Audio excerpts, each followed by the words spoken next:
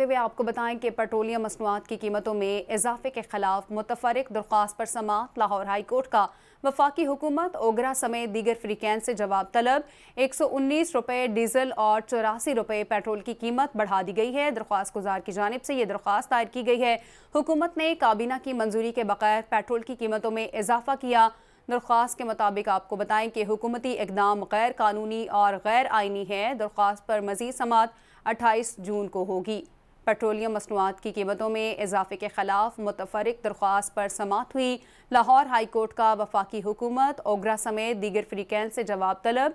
एक सौ उन्नीस रुपये डीजल और चौरासी रुपये पेट्रोल की कीमत बढ़ा दी गई। दरख्वास्त गुजार की जानब से ये इस्तः की गई है। हुकूमत ने काबीना की मंजूरी के बगैर पेट्रोल की कीमतों में इजाफा किया।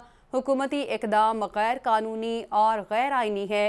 दरख्वास्त पर मजीद समात अट्ठाईस जून को होगी। इसी पर बात करने के लिए हमें ज्वाइन किया है bureau chief Capital TV Lahore Shadab Riaz ने। जी शादाब हाँ जी, बिल्कुल, लाहौर हाईकोर्ट के जैसे शाहिद करीब ने दरखास्त पर समाप्त की, जिसमें पेट्रोलियम मसनूआत की कीमतों में इजाफे को चैलेंज किया गया था।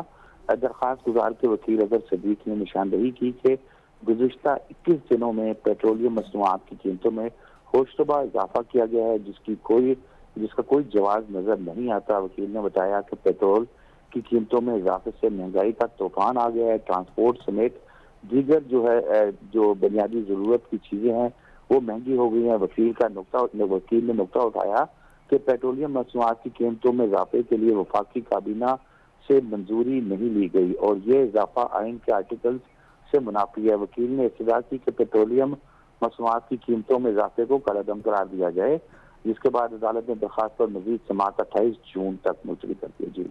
28 जून तक समात मुलतवी कर दी है। Bureau chief Lahore Capital TV Shadab Riaz हमारे साथ मौजूद थे। शुक्रिया आपका।